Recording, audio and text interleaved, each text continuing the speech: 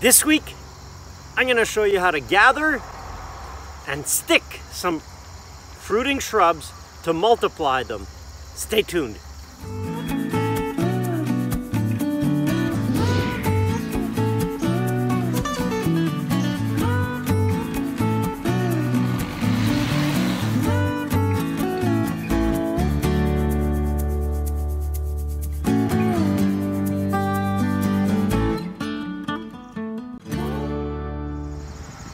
So this is what we want.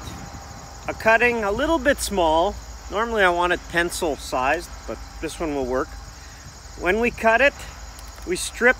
I like stripping all the buds except the top two. For we're late summer, so we want to leave a minimal amount of leaves. Two leaves is the maximum we leave. Take off the buds, and then this is our famous willow water that we did yesterday so it's it's well steeped.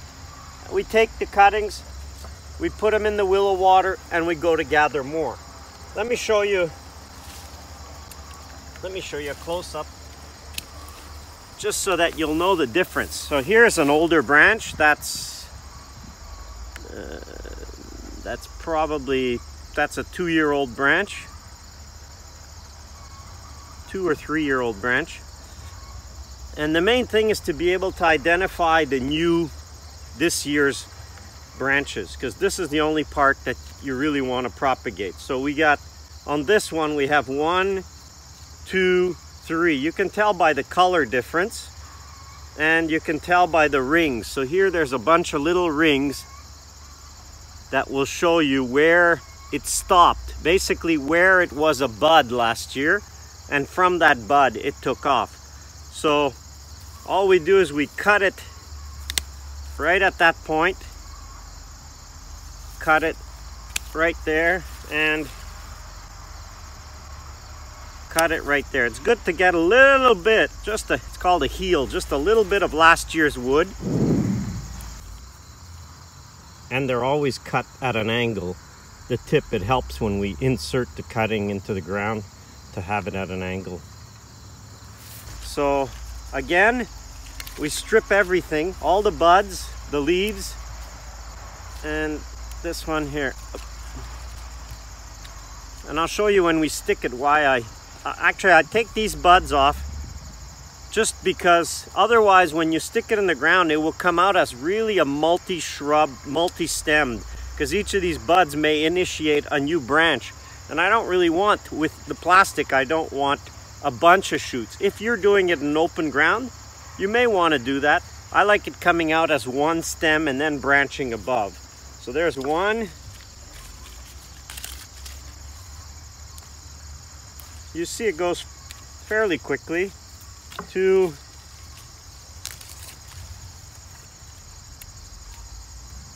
There you go.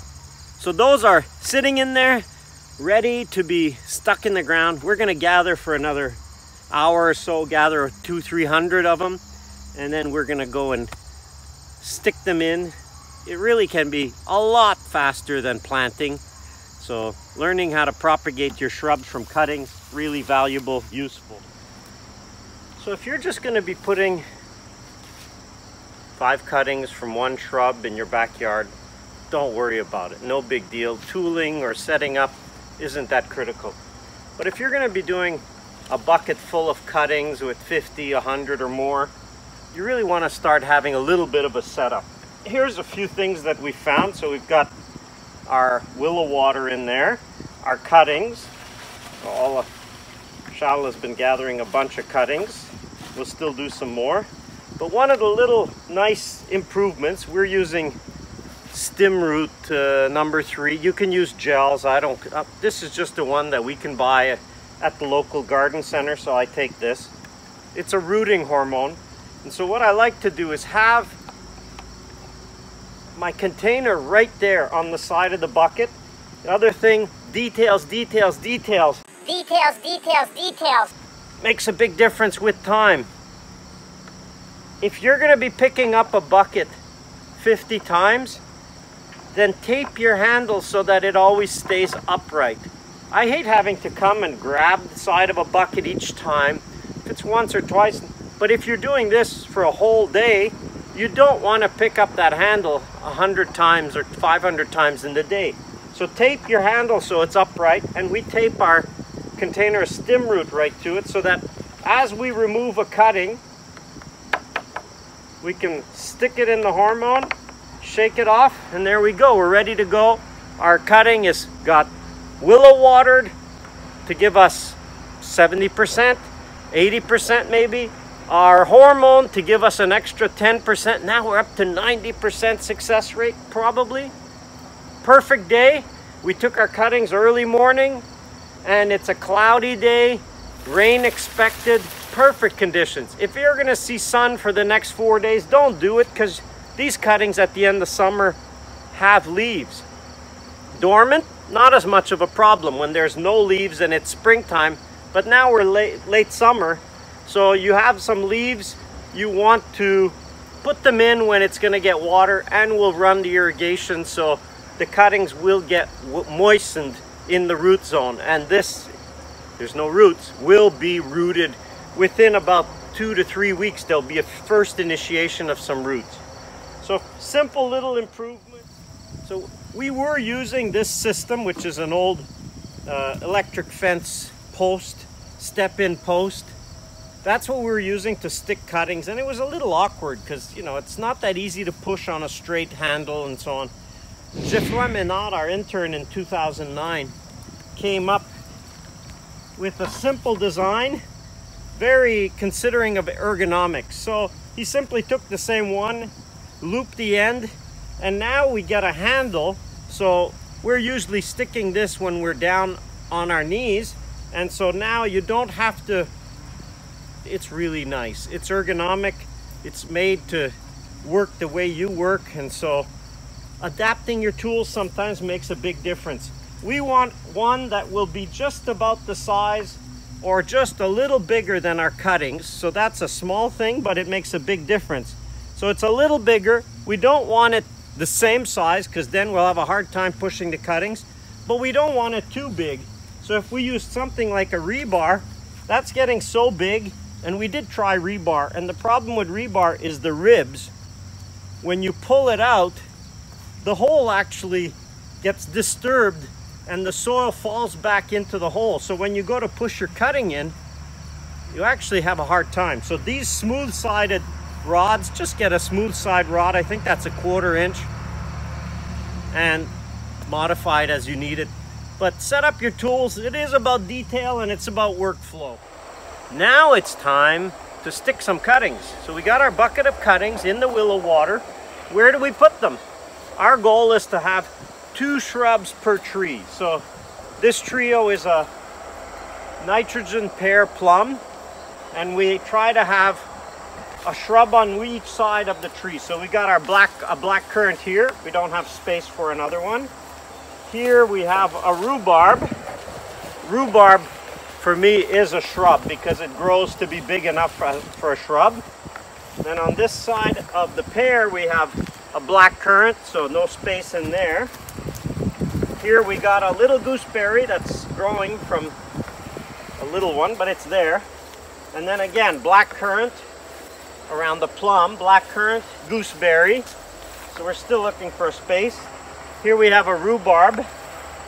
And really, even though there's already two, that one's a little far, I could put it right in here. So around this nitrogen fixer, little details, and it's all about details. Details, details, details. But when we put a, when we have our trees, we think what's the south side? So here south is right over there. And so we try to put the gooseberries like we did over here. We put it on the north side. So this gooseberry is pretty well on the north side of this plum tree because gooseberries like more shade than black currant. So over here we try to put the black currant more on the south side of the tree and the black and the gooseberry on the north side. So how to stick them? Pretty easy. We have got our bucket here. We prepare our rooting hormone.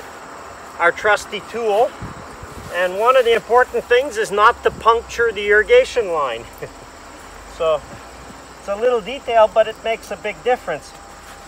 So we find here's, we could feel the drip tape under the plastic. So we want our cutting to be basically rooted underneath the drip tape so that the roots always are going to get water. So we'll take our cutting.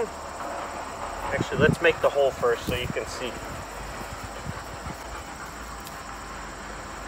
And a little rule is when we bend down, I don't want to have to come back and do it again.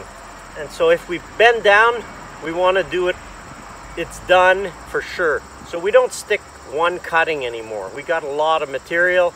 We can stick two. So what I try to do is first take a cutting that I know how long it is. Oh, that's a long one. So I'll go right to, right to the, the ground is dry here. So I'll go right to the neck of that. Take my cutting, stick it in the rooting hormone. There we go. Find my hole in the plastic and I can feel now I'm bottomed out. One of the most important little details is when we stick these cuttings to make sure they're bottomed out, right at the bottom. If the soil isn't touching the bottom of that cutting, then it won't root properly. So make sure when you put it, you really bottom it out. Don't push so hard that you bend the stem, because if this bends, then it probably will dry out. But make sure it's bottomed out. That's a one of these little details that makes a whole lot of difference in the end. So that's as far as it'll go. So that one is done. I'll have to just step it on. And then we'll do another one. Again, get an idea how long. So that's also a bottom up one. And just put it in. So now we'll have a few buds here above that are alive, a few buds here alive, and last step